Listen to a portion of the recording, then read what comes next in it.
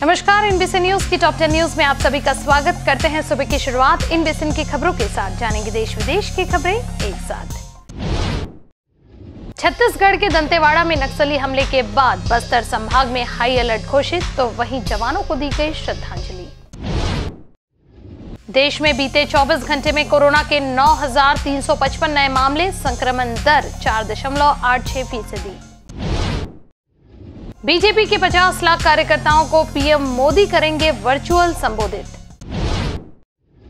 अतीक अहमद के जेल में बंद दो बेटों समेत छह के खिलाफ रंगदारी मांगने के आरोप में एफआईआर दर्ज। पुंछ हमले के बाद सहमा पाकिस्तान, सता रहा एक और सर्जिकल स्ट्राइक का खौफ। बंगाल में रामनवमी पर हुई हिंसा को लेकर कोलकाता हाईकोर्ट ने अपनाया कड़क रुख। एनआईए को सौंपी गई जाँच। नेशनल डिजास्टर मैनेजमेंट अथॉरिटी ने तैयार किया सचेत ऐप। लू आंधी बारिश का पहले ही दे देगा अलर्ट।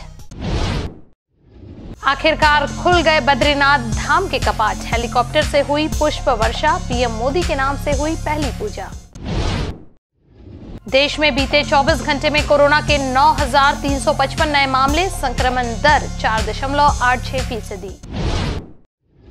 और किसी का भाई, किसी की जान को नहीं मिल रहा ऑडियंस रिस्पॉन्स पाँचवें दिन भी गिरा कलेक्शन